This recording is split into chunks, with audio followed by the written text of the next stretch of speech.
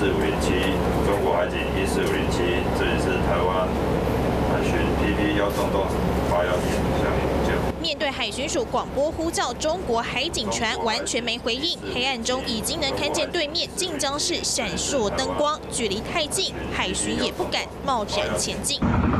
画面中缓缓驶出的就是澎湖渔船大进满八十八号，只不过这艘船二号晚间八点左右，在金门廖罗港东北东方向约海峡中线以西二十五海里处捕捞小管时，遭中国海警船靠近拍照后登检查扣，强压带回中国。本任大船被登检位置位在陆方领海内，且目前。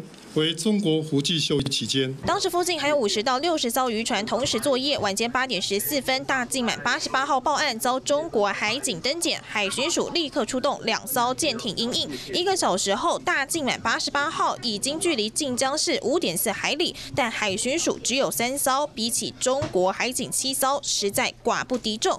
避免身高冲突，只能放弃紧追。最后，船只在晚间十点被带回晋江围头港内。之前没有。有掌握情资，他们是有七艘，但是这个七艘不是同时在那边，是有这个状况后持续赶往现场的。